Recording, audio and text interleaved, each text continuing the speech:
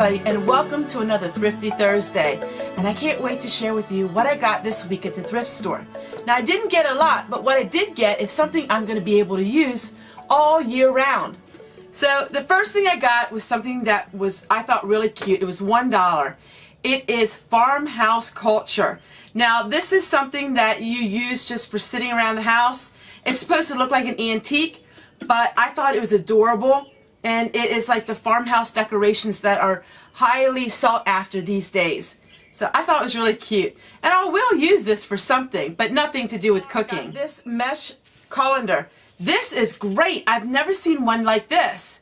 So I'm going to really be able to use this for all kinds of projects on the homestead. And then for another dollar, I got this one. Now, I thought this was really unique as well. So I'm going to be able to use these. I use these kind of strainers all the time. And I actually have quite a collection of them. I keep some out here in the canning garage, and then of course I have some in the house. But this one here I thought was really unique.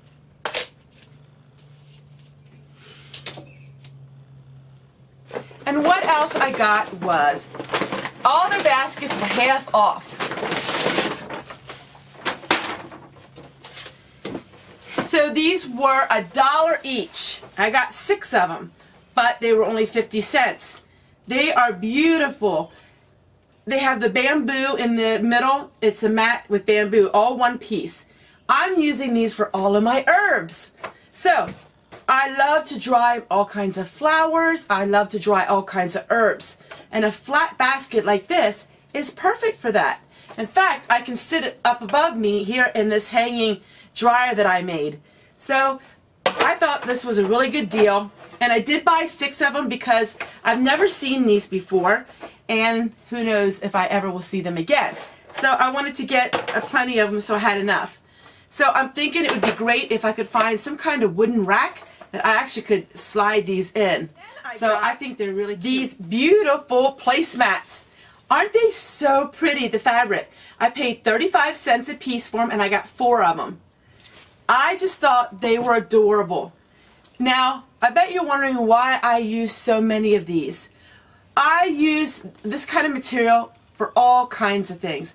I use it to dry my dishes. I use it to put my herbs on. I use it with canning.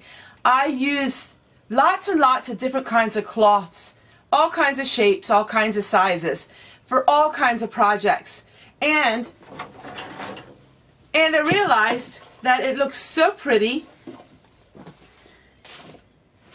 Like this. And you can reuse them over and over again. A lot of people use paper towels. I don't use paper towels. I use things like this. And then I rewash them over and over again. So when I'm going out and picking some of my very delicate herbs I will use a tray like this. So for 35 cents a piece and for 50 cents for the tray I think this is quite a bargain. And it looks pretty show too. You what I've been working on in the garden as far as my herbs. And I'm going to show you why I love using these kind of flat trays. So follow me out in the garden and I'll show you what I've been working on Friends, today. This beautiful plant is called the chamomile. And chamomile has an apple type scent to it. It's beautiful. It's also perennial and it grows every single year, even in the Northeast. So what is chamomile? Chamomile is known for its quality to help you sleep at night, to calm your nerves. You take the heads of these flowers and you can brew yourself a tea, and that tea is supposed to be really good for a sedative. Chamomile is also great infused in oil and then strained and then added to beeswax to make a beautiful salve that is great for all kinds of bug bites and things of your skin. So today we're going to go ahead and we're going to harvest our chamomile. I got this basket for free. It's perfect for something like this because it's lined with some burlap. I'm going to cut the end of the chamomile. By cutting the tops of the chamomile will also induce growth, that it will become bushier. Chamomile, I grew from seed, and I grew it last year from seed. This year, it's the first year it's blooming. You can buy chamomile plants at almost any store, even Lowe's and places that are hardware stores. carry the plants of chamomile. leave just a few flowers on so these flowers can go to seed so it can replant itself. When harvesting herbs that have flowers on them, make sure you leave some of the flowers on.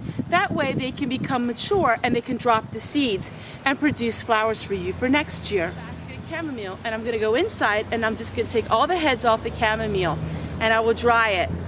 For me, I just dry it at air temperature and within six to seven days, it's totally dry and then you can pack it away in a glass jar. So I'm going to show you today all of my herbs that I have. This is the prime time of the year in June where all of these herbs start to flower and to bloom. I'm going to share with you all the different herbs that I have and in the coming videos I will share with you uses of these herbs. Johnswort is starting to flower. Once it flowers I will be harvesting the flowers.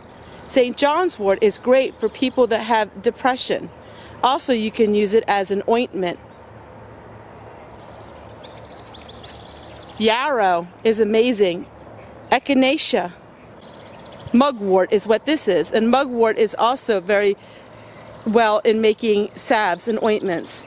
All of this is oregano. Peppermint.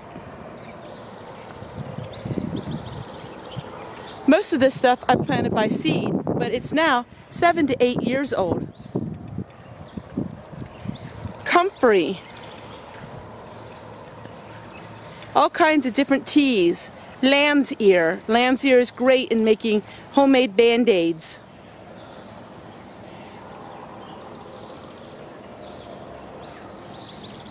I have feverfew up in my upper garden. Clover I'm planting. Calendula. All kinds of plants that I started from seed that aren't mature yet. Behind me are sunchokes. Sunchokes are like a potato and they come up year after year and you, you consume them like a potato.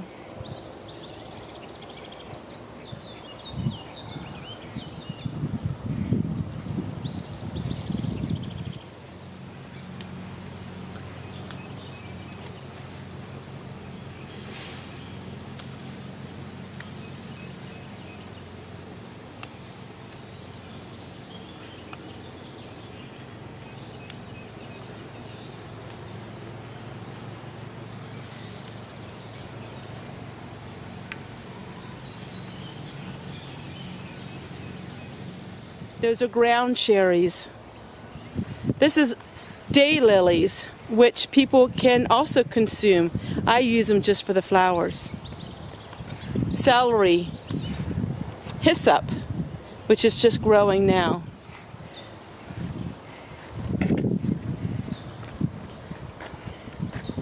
Licorice hyssop.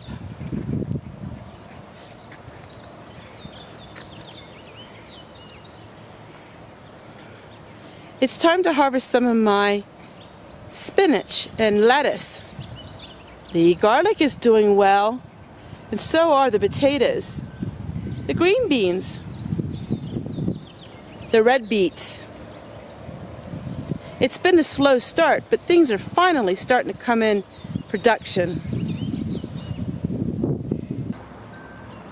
Soon after planting my tomatoes, I started to have flooding my tomatoes aren't doing so well and I'm going to use these, these fertilizer spikes.